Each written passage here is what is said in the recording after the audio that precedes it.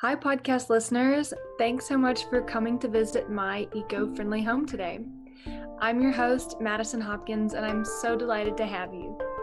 When you're a guest in my eco friendly home, I want you to walk away with tangible steps to reduce your home's emissions, live healthier, cleaner, save money, and of course, build community. So come on in and make yourself right at home. Oh, goody, you brought those low sugar cookies I love, my favorite. Hi, podcast listeners, and welcome to today's episode. Here with me, I have Trish Becker. Trish is the co founder of Story Spring Consulting and the director of community engagement at the University of Denver's Graduate School of Social Work. So, Trish is here today to talk with me about co housing. And for those of you who are familiar with co housing, excellent. We would love to hear your feedback after the episode. And then for those of you who are not familiar with co housing, hopefully by the end of this episode, we will have answered all of your questions. So, just to give y'all a little bit more insight about Trish, she is a founding member of Denver's newest co housing community called Aria Co Housing. And that's A R I A, yes, like the character in Game of Thrones. and she is a passionate advocate for housing solutions that address both the crisis of affordability, which is really real, and the global loneliness epidemic, which we can all relate to now that it's 2021. She's in the process of establishing a micro village in Wheat Ridge, Colorado that addresses both of those. And I'm so excited to hear what a inner city micro village for co-housing is going to look and sound like. She holds a master's of social work from the University of Washington, a bachelor of science in psychology from Colorado State University. And the last thing I'm going to say before I let Trish take the mic is I watched a TED Talk video that she gave for TED Talk Cherry Creek, wasn't it? Cherry Creek? Perfect. And that link will be at the top of the bio since that's what I've missed or mentioned first. So Trish, passing off the mic to you now that we all know who you are, what you do. Give us a really good insight about your mindset as well. And yeah, let's let's explore who you are. Oh, well, thanks so much for having me, Madison. I'm really excited to explore co-housing and especially to highlight it from a sustainability lens i often um, talk about co-housing from the lens of belonging and human connection and meaning and sustainability is also such a, a huge part of why people um, decide to live together in this way.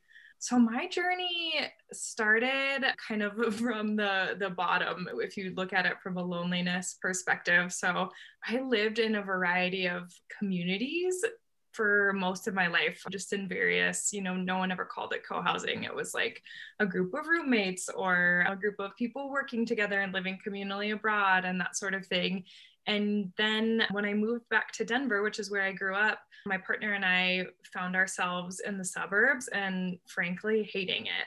We bought this house that was, you know, so we it was something that was big enough for our family to grow into and it was beautiful and we loved it.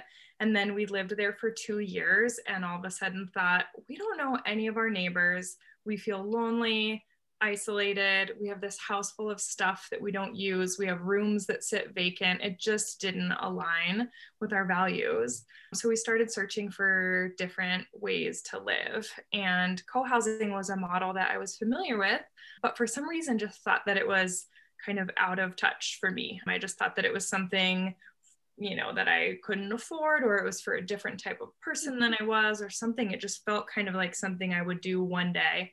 But then we discovered this group of people forming aria co-housing on the northwest side of denver and they had availability and so we jumped. And so we ended up signing the contract to join this community which hadn't even been completed yet like on the same week that we found out that we were pregnant.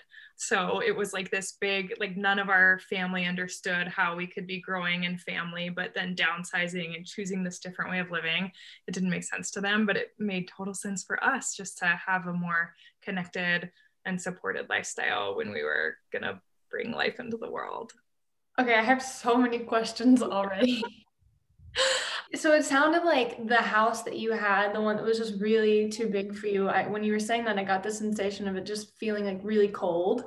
because of the so much space and like not a lot of body heat. Yeah, that the word cold it fits so well because it was just my partner and I. And then it was just like it lacked the warmth of just life and meaning too. It just felt like it was just this place that we existed and it wasn't like we were friends with all of our neighbors and it was this gathering place. It just felt cold and vacant and kind of meaningless. Yeah. And then my second question oh gosh, was it? I wanted to ask, what did that look like for you? But I think I was talking when you were talking about like maybe the money aspect about it, like what you didn't feel like you could afford it. And I was wondering what that looked like for you.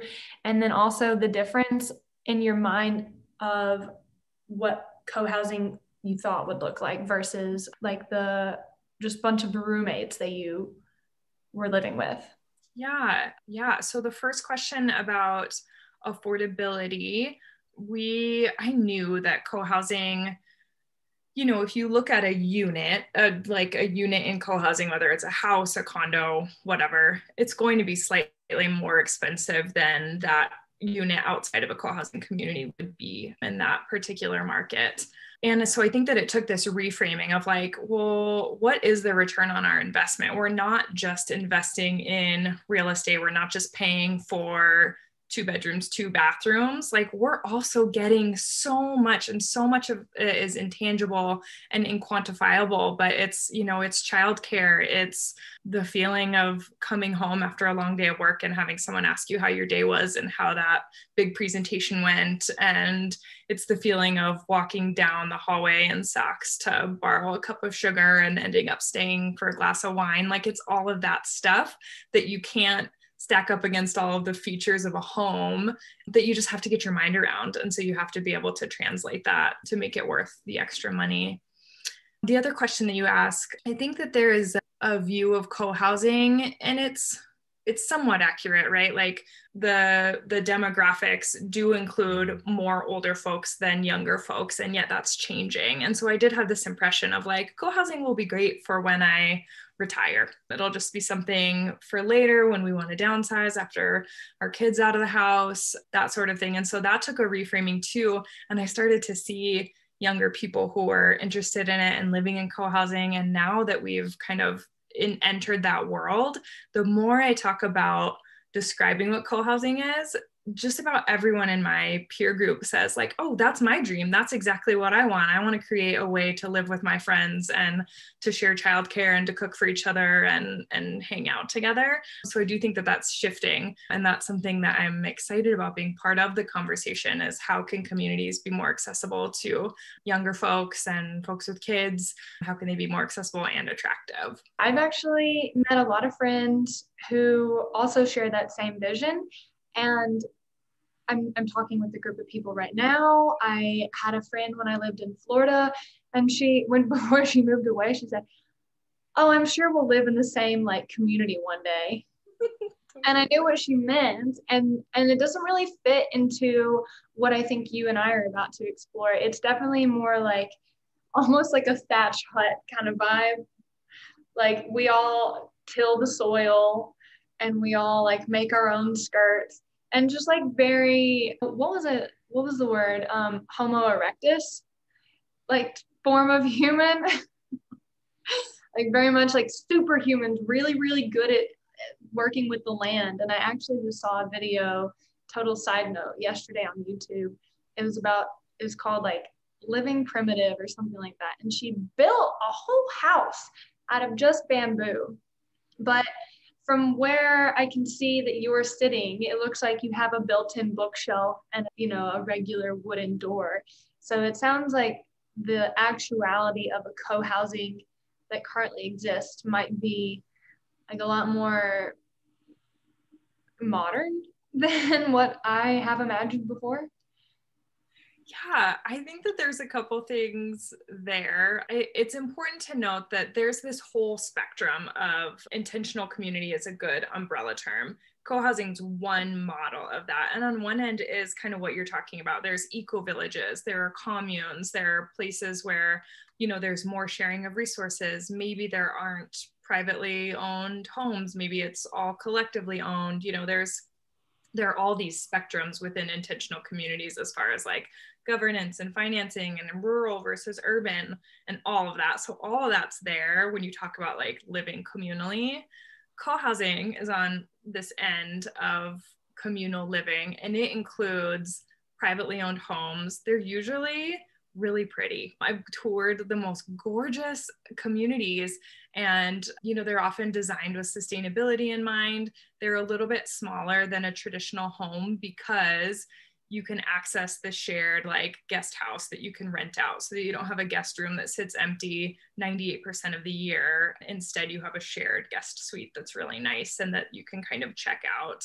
Or maybe you don't have a kitchen that's big enough to host a party but you can host a party in the community kitchen but you just have a kitchen of to yourself so i think that there's a lot of misconceptions about maybe how much you would sacrifice to live in co-housing so when we gave people tours of our condo in aria all of our friends would say, I got to be honest, like I kind of expected a dorm room, you know, and it's not. These are regular homes, slightly smaller, but we still value aesthetics and comfort. You know, they have their own, in co housing at least, they have their own bathrooms kitchens dining rooms you know the full the full thing we just share a little bit more it definitely sounds like a, a mix of a dorm room and and like a current apartment because I think dorm comes to mind. It's the only experience that most Americans, at least, have had where we live around a bunch of people that are like a hallway away. And in an apartment, it's a little bit different still because, you know, I think we're like, okay, I'm not in a dorm anymore. Like, I, I can't really be friends with my neighbors down the hall. And then you don't really share that much either. I did just move out of a studio apartment with 16 units in the building. And I made some really good friends in that building. And COVID really brought that out from all of us because we were like, okay, well, we can't go anywhere. I guess we have to finally meet our neighbors. I know a lot of people experienced that this year. And then the way you're saying, like having having a large group of people come over and using the community kitchen, I instantly just think of like a modern day apartment that has all the extra amenities that you know maybe someone rents out for like a football game or or things like that. Like the times when you would just generally need a larger kitchen. Yeah, that's exactly right. If you walked into a co-housing a condo in a co-housing community or a, a standalone home you honestly probably wouldn't know. You could tour the whole thing and not think that it's any different, maybe a, a, slightly less square footage, but you really don't sacrifice a lot and you gain so much. Your dorm comparison, I like fight against it when you think yeah. about physical, like what it looks like. But as far as the community of it, I love it.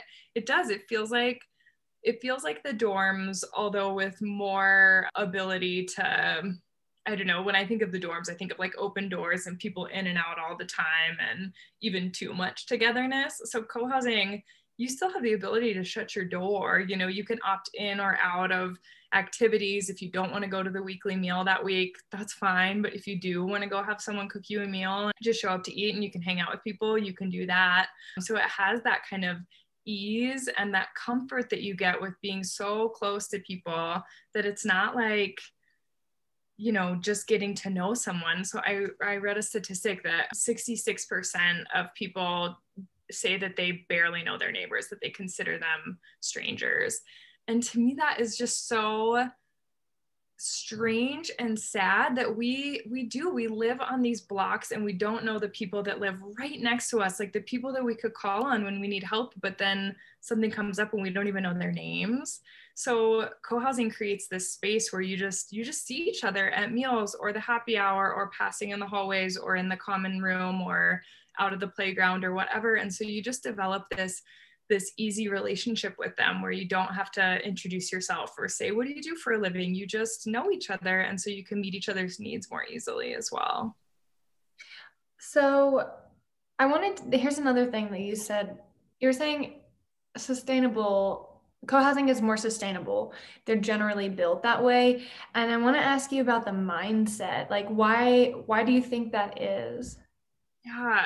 So, like, people who enter into co-housing typically typically have some shared values around, you know, community, connection, sustainability. So that's going to go into the design. Oftentimes, that's not across the board.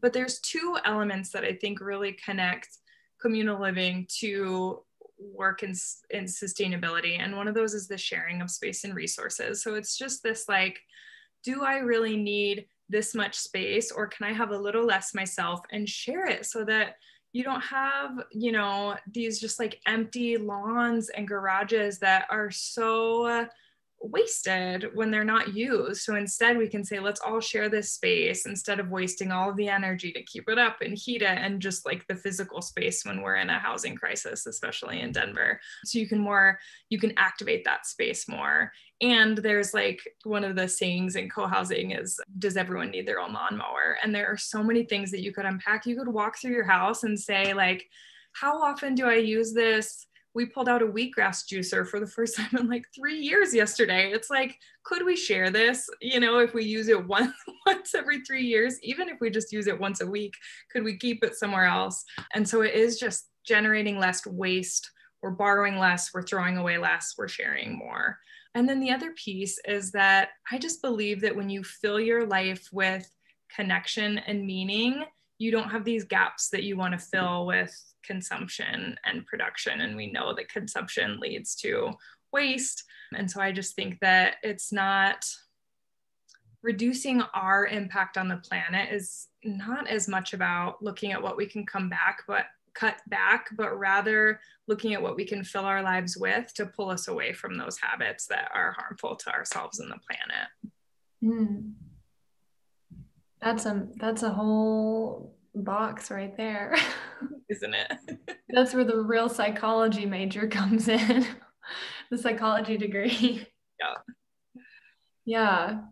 yeah. I mean, okay, so another thing that I, I jotted down was you're saying you get a lot. Okay, so this actually ties in with what you were just saying the psychological aspects about things like you're not having to fill your life with things you don't need because you have that community and earlier you said those are sort of the unquantifiable moments that you get from having a little bit more expensive of what I'm assuming is a mortgage payment, which I also want to talk about. And when we spoke in our intro call, you mentioned that that comes in with the HOAs. So you you pay more for your HOA, and so it's not so much that like your particular unit costs more, but that like the HOAs cost more. Is that correct? Yeah, so it really depends on the financing structure of, of the community. So there are co ops, which are completely different than this, but at least in my co housing community and, and others that I've seen, the unit. It, it is slightly more because you also have access to this like common house with a hot tub on the roof and a yoga studio in the basement and you know the the playground that's just for your community and you know you have access to all these physical things. So that is more. The hoa is part of it too. So that's how many co-housing communities are governed is that we pay this hoa fee and that goes into the maintenance of all these common spaces. It just creates a budget for us to do things that that build community. So we'll have a budget for physical improvements, for social activities, for marketing and networking, you know, to go to conferences, all the things that create a rich community. That's all what the HOA goes towards. Did that answer your question? Yeah, and I didn't know y'all had a hot tub and a yoga room. I to be fair, my community does not have that, but but many do. And even in the area, there are some communities with amazing amenities Well, yeah, what are some co-housing communities in the Denver area? So we know that you helped co-found ARIA and where are you living now? And you're also helping start and co- co-found, am I saying that right? The one, the micro community in Wheat Ridge. So what's that called? Where are you living now? Sure. And what are the other names of co-housing communities? Um, yeah, so Aria Co-housing is the one that we joined, loved, still are members of, but are transitioning out of simply because our family is growing. So we had a child, which was fine, but then our family's growing in the other direction too. So we needed to create space for two generations of women above me. So we just simply needed a larger space, which led us to where I live now, which is it's in it's in Wheat Ridge, right about 38th and Sheridan for those that are local. And it is an acre with two houses, but plenty of space to grow. And so our vision is twofold. So, number one is to build more dwellings on here. So, hopefully, have three to five families living here and then convert there's just a ton of outbuildings so i really believe in using the built environment instead of just building new things there's all these garages for example so we converted one into a common house. And the vision is that it would not only be kind of a little micro village with the folks who live on the land, but also that common house would be available to everyone on the block. So we have a, a great sense of community on our street. And we, once once we're able to gather, plan to have weekly meals and a tool library and skill sharing and a co working space and all of that. But it wouldn't just be limited to who lives here, it would be expanded to the broader community. And that sort of embedded community is what's really exciting to me when I think about like the future of co-housing. And to answer the other part of your question, the other communities that are in the area, I I'm reluctant to name them because I know that I'll forget a couple, but Hearthstone is one in the Highlands. Harmony Village is one. Highline Crossing is in Littleton. Aria, of course. I'm sure I'm missing some, but which one has the hot tub? that one, I don't think Hearthstone has one, but Wild Sage is one in Boulder, and it is like gold standard. You know it. Of course, it's in Boulder. All the Boulder people are gonna hit unsubscribe. yeah, it's it's perfect. It's a it's a up there. Don't worry, people. I lived in Boulder. I gave it a shot. It wasn't for me. I'm so sorry. Yeah, that's really cool. There's one in the Highlands. That's so interesting. And I will link all these in the show notes. And this is gonna be really fun for me to explore after as well. And yeah, so like like talk to me uh, because i want to I, I think i want to get into a co-housing community. So like how would i do that? And i was actually just texting somebody today like the current apartment that i live in doesn't have recycling doesn't have composting which is standard. To not have composting. I just talked to denver Gov, which they're Denver Gov is like the best. They're so easy, they're so friendly, they're so easily accessible, and they give a lot of really good resources. I'm actually trying to get them on the podcast. But yeah, like they only compost if it's a, a unit of six dwellings or less. So it's mostly single family homes and some like quadplexes. And then they do recycling for the same amount as well, but they have a community place where I'm going to start bringing it, which is in Cherry Creek. But I was just thinking about like, what do I ultimately want? What's the living space that I ultimately want to live in? Because I don't want to live in a single family home. I just think that, I mean, for me, that's just a lot of upkeep. You know, I'm not that handy. I'm not a handy ma'am. and then like a condo, I'm like, yeah, like, okay, I could kind of live in a condo, but would it like enrich me in the ways that I want? And so this this co-house, and of course there's a bunch of other options of, of ways that I could live. But yeah, so like talk to me as though I want to get in. Yeah. Okay, a couple things. If co-housing is the model that you want, I encourage people to check out coho.org, which is the National Co-housing Association. They have a lot of great resources and they're doing virtual conferences and all that, but they also have a directory. And many times if there's openings in a co-housing community, they will be listed with that organization. The other thing that I recommend is just get to know the communities because the reality is there's oftentimes a pretty long wait list. People don't like to leave co housing once they're in and they're not just like building new units. So many communities will say the first step is to like come hang out with us at dinner, you know, get to know us, decide whether we're you like us and we like you, you know, and and we vibe. And then you can be on a waiting list so that if something opens up, then we can reach out to you. I will say ARIA co-housing has a couple of units available now, which is just the nature of them being kind of a new community and having, you know, those working out those transitions. So that's rare and it's rare to have a couple of units in the same community together. So if you and a couple of your friends want to move into an existing community, that's available, which is exciting. The other thing that I think a lot about is that co-housing because of the affordability piece because of the long wait lists because of the nature that they're not everywhere and you'd have to pick up and move to a co-housing community or start your own which that's another option. You can start your own community. There's a lot of great resources for that. On co-housing association and also the foundation for intentional community is a great place to look if you want to start your own community. But i think that so many of us can take what we know about co-housing, take the principles of co-housing, and we can create that communal feel where we live. So I don't think that it's necessary for everyone to pack up and move into co-housing.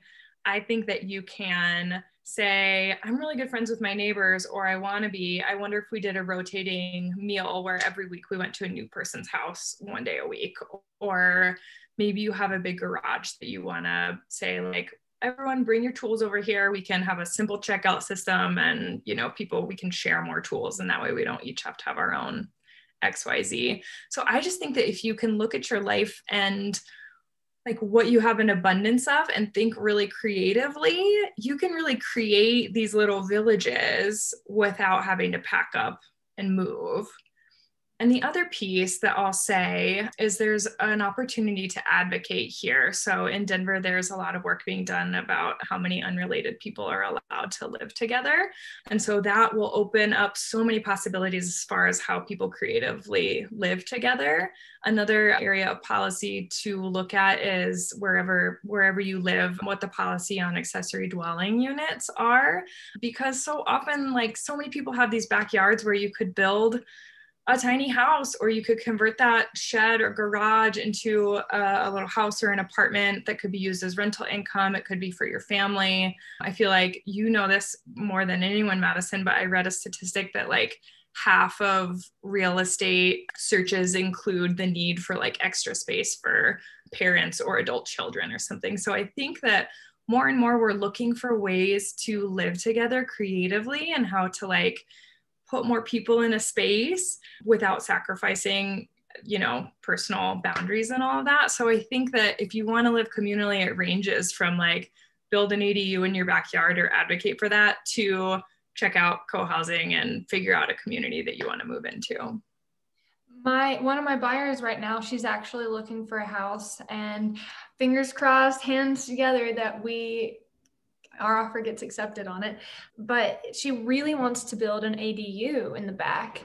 And when I tell my parents they're like, why, why would someone want to like build, why would they want to live in the garage? I'm like, it's just, it's just an option. I mean, it's not going to be the garage. It's really just an extra small building.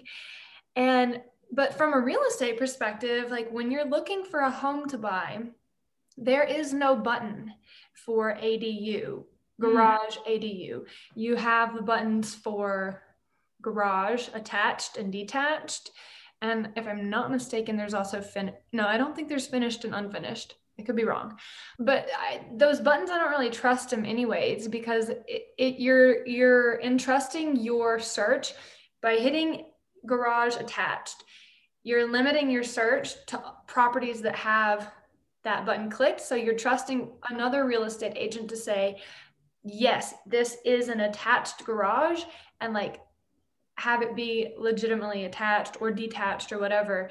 And then there's also there's not a button to specify that there's an office space, which hopefully the MLS system is working on that soon. And so a lot of times you'll see like a four bedroom house, two bath, and then you notice one of the bedrooms is honestly an office space. It's right off the kitchen, it's pretty small. And so I really think there there's a couple features that really need to be updated in order to help people find that home that they want to live in a lot better. And there's also a very limited amount, since I'm talking about it, there's also a very limited amount of like buttons you can click that have green features mm-hmm. or what green certification that they abide by or things like that. And then again, for me, it goes back to okay, well, I'm entrusting somebody else who maybe doesn't really know about green features to classify it correctly. Totally. I feel like those are both such great, like tangible ways to change the conversation around sustainability and housing density, right? Like most people don't even know what an ADU is. So, uh, accessory so- dwelling unit. yeah. For all of you listening, it's an accessory dwelling unit, sometimes called an auxiliary dwelling unit. And it's essentially a small unit in the back of your yard, exactly like Trish and I just said, that you convert into a living quarter instead of a place to park your car. And does that include basements as well? Would it like an unfinished, could you turn a basement into an ADU if you like put a bathroom and a kitchen? You know, I think it has to be detached. I could be very wrong about that, but from my understanding, it is a, a detached unit from the house because then you would just have a finished basement. Mm-hmm. Yeah so yeah thanks for defining that and so you're saying like you're trusting people the the other agent or homeowners to know what that is check the button when the reality is if if we don't even know what an adu is then we're not looking at our bathroom and thinking uh, or our bathroom our backyard and thinking oh i could build a new adu convert that shed you know do these creative things and so the more that we talk about that and include that in a home search maybe the more likely people are. And I just think so often about, you know, the housing crisis in Denver. It's just astronomical, the home prices here. It's just unreal. And so when people are living without homes and you know in substandard housing and then there's like these backyards and these empty garages it just is like you know like can we convert some of this extra unused space into homes and and solve a couple of problems and i think it starts with little things like you know, changing the features on a home search website. Yeah, I should write the MLS about that because it's kind of necessary. And what you were saying about like your advice that you give to someone who might want to live in a co-housing, you're like, okay, well, actually, and I, I, love this because it's taking like the big macro change and you're saying like whoa whoa whoa pump the brakes like look around you first and see what you can do to shift that instead and one of my mentors and team leader for latitude real estate alyssa collins she and and her husband neil neil was my podcast episode number three i feel like we could all talk about this all day but they when covid started or was it before COVID? Well, they started just, you know, meeting their neighbors. Like Alyssa will bring them seeds that they can plant. And they started their own garden in their front yard, and neighbors come by and they're like, oh my gosh, I love your garden. And then she meets her neighbors like that. And Neil, and he said this in the episode three, was walking in, like just on a walk one day, and he passed an alley and he saw and I think it was at the beginning of COVID, like a couple of households brought big tables out and they were they were physically distanced, but they were still having a meal with each other. And so that that's a lovely story. And I feel like you really tapped into that too by saying, you know, like have have a dinner once a week with the people who you already live around. Mm-hmm. Yeah, I'm so glad you bring that up because that has been one of the more inspiring things that I've seen over the past year and actually is an area of research that I'm working on with the university is around how we have come together and created mutual aid networks and collective care structures just to help each other out and how being so desperate to be with other humans we got really creative. Like you know and our our neighborhood did the same. We had outdoor movies in our yard you know distance masks and it was just such a cool way to come together. And i think spoke to how badly we need it because we're like, okay, we'll figure it out. Like, we'll do it distance. Like, I walk with my friends now. That was never a thing that I did with friends before, just go on walks. And that's something that I do now all the time because we're just saying we need each other. So let's figure out how to do it safely. And I think that we have a new appreciation for how badly we need one another too as a result of this. Like it was taken away from us. And so, you know, we feel those impacts on our mental health. There's a prediction that there will be a social recession because we know that loneliness doesn't just affect our mental health, it increases rates of depression and anxiety, but it also increases our risk of heart disease, dementia. You know, it's really taking a toll on our bodies. And so we're likely to see those health outcomes for a long time because of this time that we've been away from each other. So, all of that to say, I think that there's a lot to be learned from the pandemic and a lot of areas that I hope we don't just go back to the way it was done before, but rather use it as an opportunity to rebuild some ways of living. Yeah, and I love the work from what it sounds like what you're doing with building your own community in Wheat Ridge, your little plot in Wheat Ridge. So that's really cool that you you get to structure it how you want. Yeah, it's so fun to have just all that possibility before us and I'm learning so much about city planning boards and architecture and a survey, just things that I never ever knew anything about. And it's been really fun and just a fun way to engage with the land here too. So the thing that we love about it, in addition to just like having possibility to grow into a community is the the trees and so just like developing a relationship with the space here and then thinking of ways that we can share it and build towards more collective structures here is is really a fun process well, Trish, I also have like some hard money questions for you around co-housing. And the answer might be, well, it just depends on how you structure it. it the answer probably is, it just depends on how you structure it.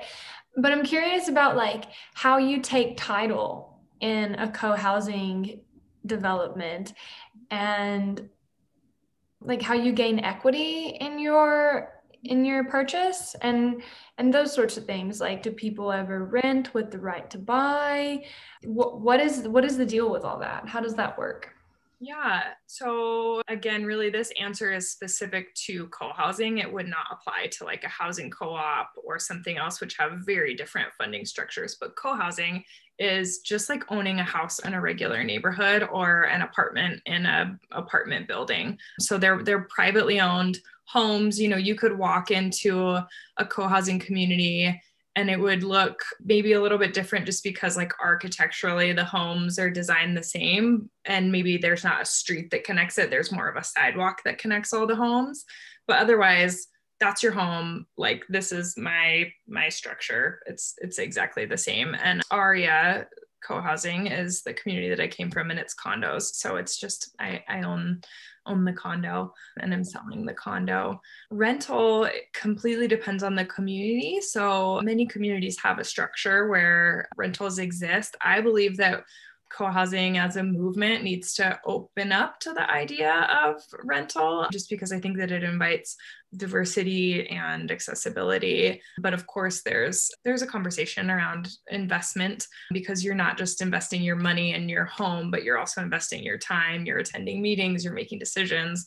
So you know that just invites conversations around renting versus buying. But most communities do have a structure where rentals can exist okay your question Yes. And do people ever buy, and again, this is specific to co housing, do people ever buy a unit with friends taking title, like with friends? Is that something, or like, or could you buy, could I buy a unit that has, is there like a general number of bedrooms that they have? Could I buy a three bedroom unit and rent it out to my friends? Is that something that's allowed?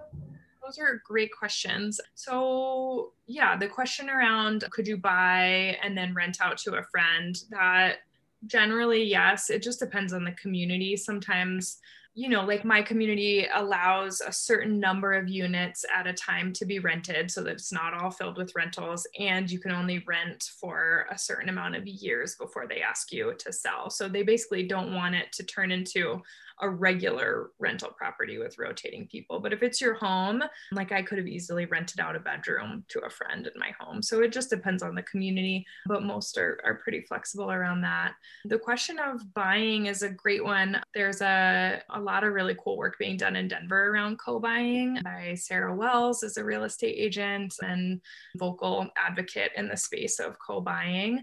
And so I think more and more lenders are becoming creative, not just within co-housing, but with saying like, okay, there's these two families and they want to buy a really cool house that they could never afford on their own let's figure out structures for them to work together and and purchase a single family home together or purchase a unit.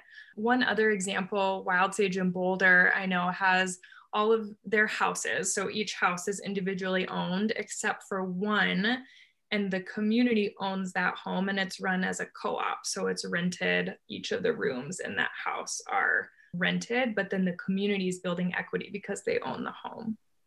Hmm, okay, interesting. So the co-op dynamic and and this is something i need to be more well versed in from the real estate service perspective but so the co-op versus a co-house can you elaborate on that I'll do my best. I'm familiar with co-ops, but basically a co-op is a collectively owned. So maybe um, there's a home that's collectively owned. It's owned by an entity, and then you become a member of the co-op, and then you get a share of the house. So maybe you're like assigned a room.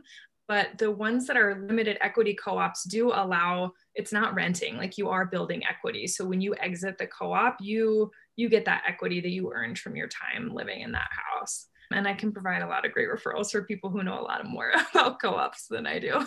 Yeah, I would love to talk with them about co-ops and and just learn more about the different ways that people creatively live.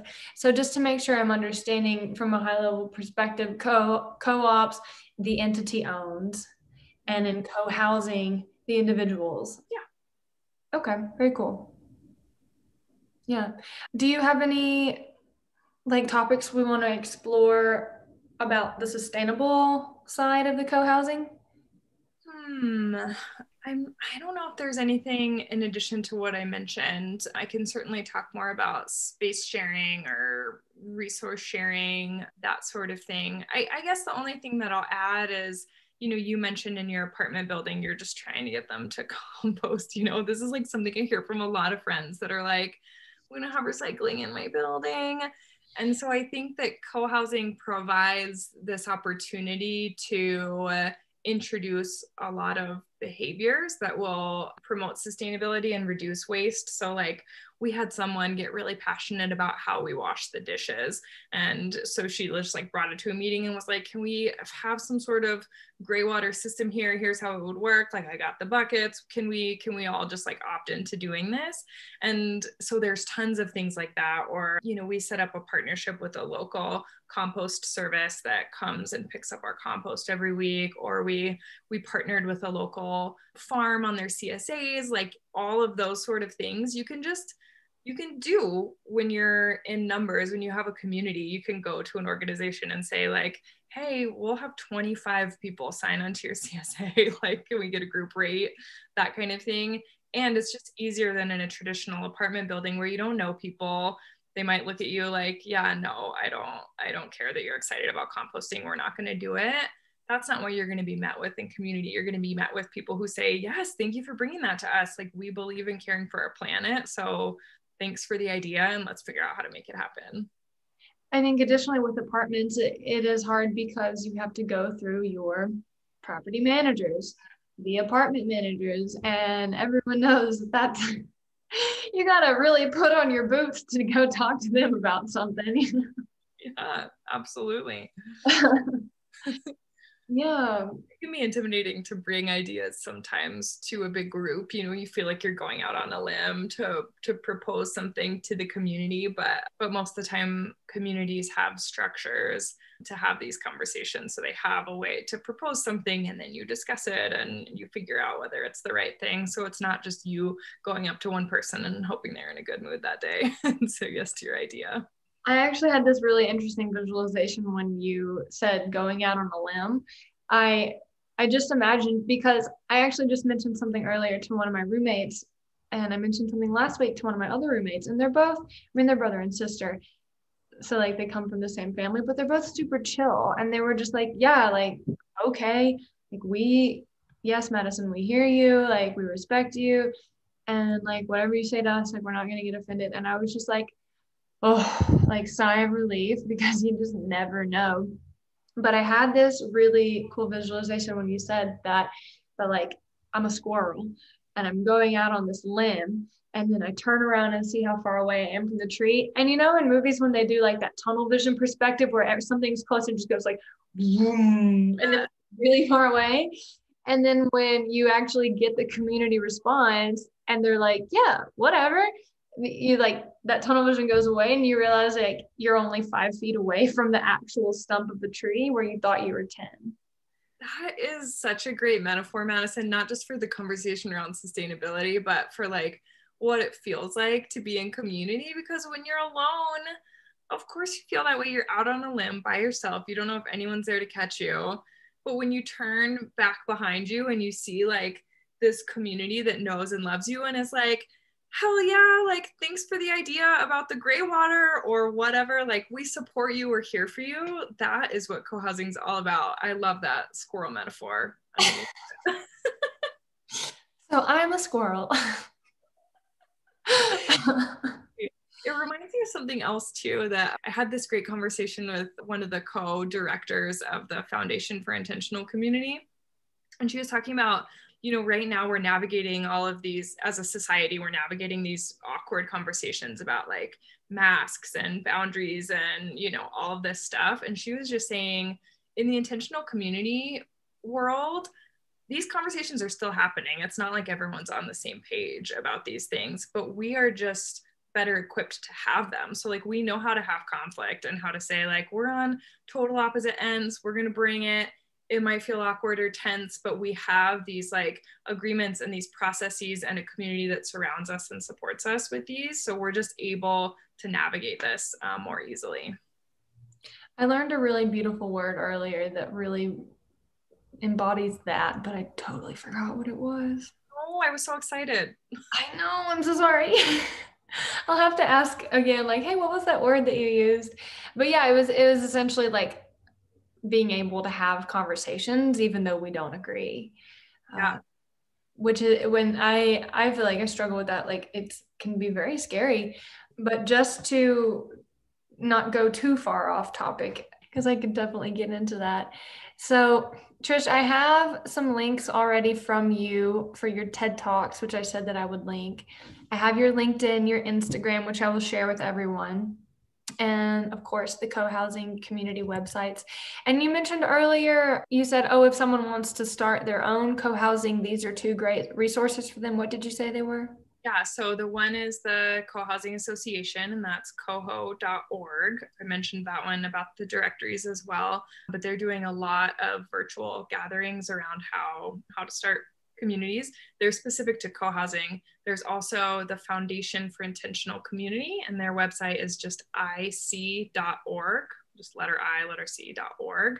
And they actually just launched an online course called How to Start an Intentional Community. So it's everything from like, how do you get land? How do you buy it? How do you figure out financing, all of that for everyone out there that's like, I I just want to buy a piece of land with my friends and you know, all the dreamers out there. I think that would be a really good place to start. Oh, perfect. I will absolutely send that and this episode to a number of people just came to mind about that. Yeah, one of my friends, Dara, and some of her cohorts, we were actually talking about exactly that how to buy land so i got to sneak a couple questions into the podcast specifically about that like in buying buying with friends and the hard money question. so that that specifically came from that conversation outside of the podcast but is there anything that you want to leave the listeners with or leave me with or? Yeah i mean i think i always say like the model of co-housing is for some and it's not for others. Like some people hear it and think that sounds so cool and others like have this physical reaction that that's not for you and so i would say just a reminder that co-housing is just one model and i think that the future of of co-housing just the future of life is one of us finding creative ways to live together. And so i just encourage everyone to be creative to like think outside the box and just put your heads together with some other people. I'm actually starting to gather people who fit into this that are just like, I don't know, I just don't want to live alone in the suburbs. So I want to meet other people, share resources, connect with others, and all that info can be found. I don't know, on my website and Instagram. But yeah, just like continue to be creative and think outside the box, whether it's co buying or changing a barn into a house. Like we can do this. We can figure out better ways to live together and to have more meaningful lives. And it doesn't all have to look like the models that have already been created for us my real estate teams, our latitude conversation this morning, one of our members said, Well, it's a struggle for millennials to buy a home right now. And and some feedback was, well, it's a struggle for everyone to buy real estate right now. So as we were talking, the housing crisis, the affordability crisis, um, especially in Denver. But he said, well, if Gen Z is going to want to buy a house, they're going to have to get really creative. So ties perfectly in with what you just said that like these are just creative ways to to find a way to live how you want to live. And everyone wants to like live how that how we want to live. I want to live how i want to live. And i want to find people that fit that as well. And everyone has their own like version of that. So i think i think that's fantastic. And i can't wait to share this with everyone i know Awesome. Thank you so much, Madison. This was so fun. It's just, it's exciting to talk about this stuff and to see the future of communal living kind of taking off. Well, thanks for being here today, Trish. I really appreciate your insight and for teaching us about co housing. Podcast listeners, as always, thanks for being a guest in my eco friendly home today. I really hope you learned something new, and I hope you find a way to implement this into your life so you too can create your eco friendly home. As always, I'm available to direct message on Instagram at Moving with Madison. And besides my podcast, I provide services as a real estate change agent in the Denver metro area, specializing in helping you buy, sell, or create your eco friendly home something that this podcast is helping me get better at each and every day. When you come back over, please bring those cookies again. They were really good, and I'll see y'all next time.